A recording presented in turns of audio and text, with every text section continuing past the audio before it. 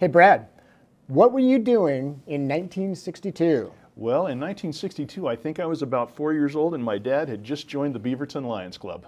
Oh, very nice, very nice.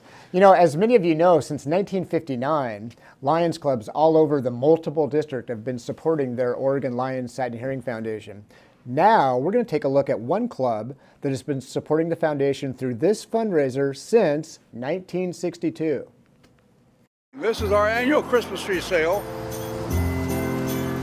We start out with about 800 trees. Probably we'll sell out by the week of the 15th, 18th. They go that quick. Uh, the town supports us real well in this operation, and, and it's what we do. This is our second day. We will be here till we sell out of trees, and we're open from 9 in the morning until 7 at night. Oh, it makes me feel wonderful. I've been doing this since uh, 1960.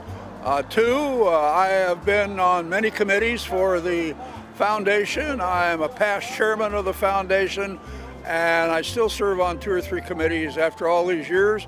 The foundation and Lion makes me feel that it's my life. We uh, run this program every year to help support uh, the Oregon Lions Sight and Hearing Foundation. Such a valuable program for the communities. We get people that come in all the time that talk about when they were a kid, they got glasses and how it helped them to see. And they come back year after year to buy Chris, uh, Christmas trees from us. Uh, and we like generate the money to help make some donations into the Sight and Hearing Foundation.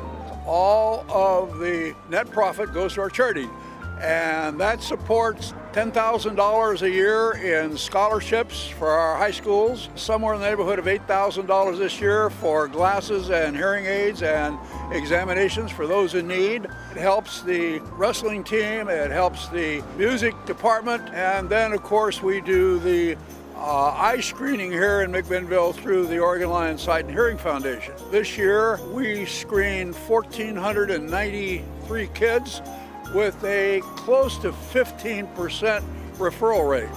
Three years ago, the foundation screened 186,000 people in the state of Oregon, and these kind of fundraisers is what supports that. Okay, I want to wish everybody a very happy holiday.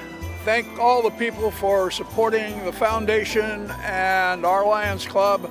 Uh, we hope that the following years are much better than they have been the last couple. We are so appreciative of the McMinnville Lions and all the Lions clubs that make our sight and hearing programs uh, possible. In fact, we just received a gift the other day from the Waldport Lions, uh, a $2,500 gift to support our efforts in patient care, surgery, and treatment.